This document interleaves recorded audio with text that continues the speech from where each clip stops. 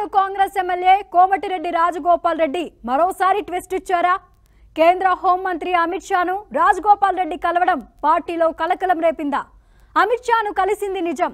రాజీనామా చేస్తాననడం అబద్ధం అని అనడంలో అంతరార్థం ఏంటి? ఇదంతా కేసీఆర్ కట్టుకథ అని చెబుతూనే బీజేపీలో చేరడం చాలా అవసరమని అనడం దేనికి సంకేతం? ఆయన కన్ఫ్యూజ్ అవుతున్నారా? లేక ఎదుటి వాళ్ళను కన్ఫ్యూజన్లోకి నెట్టేస్తున్నారా? ఇంతకీ ఆ ఓపెన్ సీక్రెట్ ఏంటి? మునుగోడు కాంగ్రెస్ ఎమ్మెల్యే రాజగోపాల్ రెడ్డి మాటలకు అర్థాలే వేరా అమిత్ షాని కలిసిన మాట వాస్తవం. కలిసిందే నిజం. రాజీనామా ఇవ్వడానికి కాదనడంలో అంతరార్థమేంటి? రాజీనామా కానీ ఉప అంశం కానీ మా మధ్యన ప్రస్తావనకు రాలేదు. హస్తం గూటిని వీడి కమలం కండువా కప్పుకోవడానికి ఇంకా టైం రాలేదా? లేక క్యాడర్ ఉద్దరణంతోనే ఆయన వెనక్కి తగ్గారా? ఇదంతా కేసీఆర్ కట్టుకదంటూనే బీజేపీలో చేరడం అవసరమనడానికి కారణమేంటి? ఉమ్మడి నల్లగొండ జిల్లాలోనే కాదు తెలంగాణ వ్యాప్తంగా ఉన్న కాంగ్రెస్ ముఖ్య నాయకుల్లో ఒకరు కోమటిరెడ్డి రాజగోపాల్ రెడ్డి. భువనగిరి ఎంపీ కోమటిరెడ్డి వెంకటరెడ్డి సోదరుడు. గతంలో టీపీసీసీ అధ్యక్ష పదవిపై ఆశలు పెట్టుకున్నప్పటికీ సోదరుడు వెంకటరెడ్డితో ఉన్న అంతర్గత విభేదాలతో ఇద్దరు ఎడమొహం పెడమొహంగా ఉంటూ వస్తున్నారు. రెండు వేల తొమ్మిది పార్లమెంట్ ఎన్నికల్లో భువనగిరి కాంగ్రెస్ ఎంపీగా గెలిచిన ఆయన రెండు వేల పద్నాలుగులో మాత్రం అదే స్థానంలో ఓటమి పాలయ్యారు. ఆ తర్వాత ఉమ్మడి నల్లగొండ జిల్లా స్థానిక సంస్థల ఎమ్మెల్సీగా ఎన్నికయ్యారు. ఇక రెండు వేల పద్దెనిమిది అసెంబ్లీ ఎన్నికల్లో మునుగోడు కాంగ్రెస్ పార్టీ ఎమ్మెల్యే అభ్యర్థిగా బరిలోకి దిగి TRS sitting MLA Kusukuntla Prabhakar Reddy మీద ఘన విజయం సాధించారు. అయితే అనుకున్న విధంగా కాంగ్రెస్ పార్టీ అధికారంలోకి రాకపోవడంతో టీపీసీసీలోని నాయకుల మధ్య ఉన్న విభేదాలు బయటపడ్డాయి. దీంతో రాజగోపాల్ రెడ్డి బీజేపీ అధినాయకత్వాన్ని పొగడడంతో కమల తీర్థం పుచ్చుకుంటారని అంతా అనుకున్నారు. అందుకు తగ్గట్లే రాజగోపాల్ రెడ్డి సైతం సమయం దొరికినప్పుడల్లా బీజేపీని పొగుడుతూ కాంగ్రెస్ పార్టీ తీరును ఇక్కడి నాయకత్వం మీద విమర్శనాస్త్రాలు సంధించడంతో అప్పట్లో సంచలనంగా మారింది. ఇదంతా గతం. ఇప్పుడు మరోసారి రాజగోపాల్ రెడ్డి కేంద్ర హోంమంత్రి అమిత్ షాను కలవడం కాంగ్రెస్ పార్టీలో మరోసారి కలకలం రేపింది.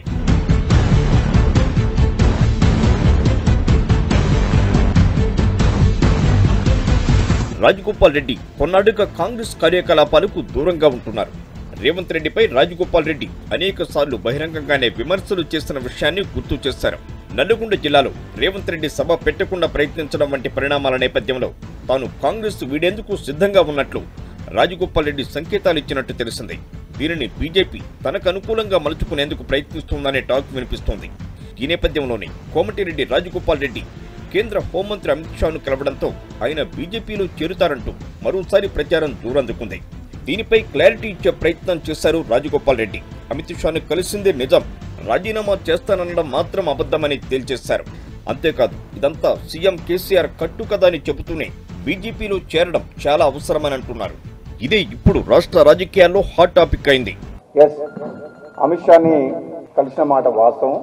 నేను పార్లమెంట్లో మాజీ పార్లమెంట్ సభ్యునిగా సెంట్రల్ పోయినప్పుడు నా మిత్రుడు జార్ఖండ్ ఎంపీ నిష్కాంత్ దుబే ద్వారా పోయి పార్లమెంట్ ఆఫీస్లోనే బహిరంగంగా అందరి ముందు అమిత్ షా గారితో మాట్లాడడం జరిగింది.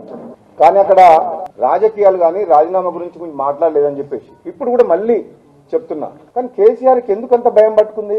రాజగోపాల్ రెడ్డి అమిత్ షాను కలవగానే ఉప ఎన్నిక వస్తుంది రాజీనామా చేస్తాడు బీజేపీలో చేరుతాడు ఉప ఎన్నిక వస్తుందని చెప్పి ఉప ఎన్నిక రావాలని మునుగో లేదు. రాజీనామా చేయాలని నేను అనుకోవటం లేదు. ఇది కేసీఆర్ యొక్క డ్రామా. అమిత్ షాను కలిసి తెలంగాణలో ఉన్న రాజకీయ పరిస్థితుల గురించి చర్చించిన మాట వాస్తవము.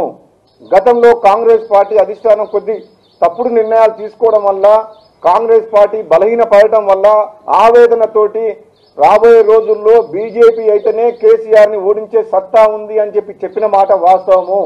నేను రంగులు మార్చడం కాదు మాటలు మార్చడం కాదు పదవి కోసమో డబ్బు కోసమో ఎక్కడా కూడా నేను చెడ్డ పని కానీ తప్పు పని చేయడం కానీ ఇప్పటి వరకు నేను చేయలేదు. ఏనాడు నీతిని కానీ వదలలేదు. మరోవైపు మునుగోడులో జిల్లా మంత్రి జగదీష్ రెడ్డి అన్ని మండలాల్లో ఫోకస్ పెట్టి అసంతృప్తులను ఇతర కాంగ్రెస్ నేతలను పార్టీలోకి ఆహ్వానిస్తున్నారు. ముఖ్యమంత్రి కేసీఆర్ కూడా మునుగోడు నియోజకవర్గంపై ప్రత్యేక దృష్టి సారించారు.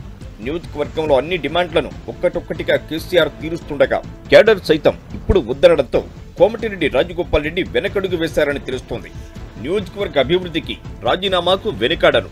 అయితే ఇప్పుడు కాదని జరుగుతున్న ప్రచారానికి ఆయన ప్రస్తుతానికి తెరదించారు. రాజగోపాల్ రెడ్డి బీజేపీలోకి వెళతారంటూ ప్రచారం జరగడం ఇదేమీ కొత్త కాదు. రాజగోపాల్ రెడ్డి బీజేపీ అధినాయకత్వాన్ని పొగిడిన ప్రతిసారి ఆయన పార్టీ మారుతారంటూ ప్రచారం జరిగింది. అటు రాష్ట్ర కాంగ్రెస్ నాయకుల తీరును ఎండగడుతూ రావడంతో ఆయన హస్తం పార్టీకి గుడ్ బై చెప్పడం ఖాయమంటూ హాట్ హాటుగా చర్చలు జరిగాయి. కానీ సీన్ రివర్స్ అయిందట. దీంతో ఆయన కాంగ్రెస్ పార్టీలోనే అంటి ముట్టనట్టుగా వ్యవహరిస్తూ వస్తున్నారు. ఇక తాజాగా కోమటిరెడ్డి రాజగోపాల్ రెడ్డి ఢిల్లీ కేంద్ర హోంశాఖ మంత్రి బీజేపీ ముఖ్య నేత అమిత్ షాతో రహస్యంగా సమావేశం కావడంతో పార్టీ మారుతారనే ప్రచారం మరోసారి తెర మీదకొచ్చింది ఈ భేటీలో రాజగోపాల్ రెడ్డిని బీజేపీలో చేరాల్సిందిగా అమిత్ షా ఆహ్వానించినట్టు సమాచారం.